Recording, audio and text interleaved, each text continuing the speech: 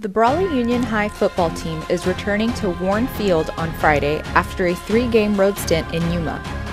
Mm, feeling good and just doing what we do every week work, practice, all that regular stuff. We've gotten closer, we've, we've seen our mistakes, we've seen what we need to fix and what we could, we could do better at. But really, these wins, they're like, they're not the wins we want. We want better wins. We want to come out strong and finish strong. We've been coming out weak finishing strong, but we need to change that, that's for sure. The Wildcats return to town to host the Morse Tigers in the Week 6 game of the week. Seeing them as any other team play, Just go out there and play them. Friday, it's definitely a team we haven't played. We haven't played a, this type of team. The, the way we're preparing is just got to focus, go 110% at practice, and just keep your head straight. Brawley heads into the contest with a three-game win streak, while Morse comes in with a 2-2 record. They're a lot faster, a lot quicker.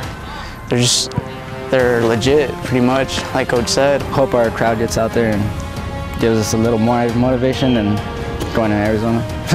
Both squads are coming off solid Week 5 wins and head into the game as Division 2 contenders.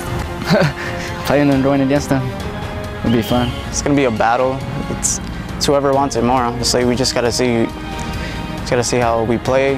Gotta keep going no matter what. And we make mistakes, just keep moving on.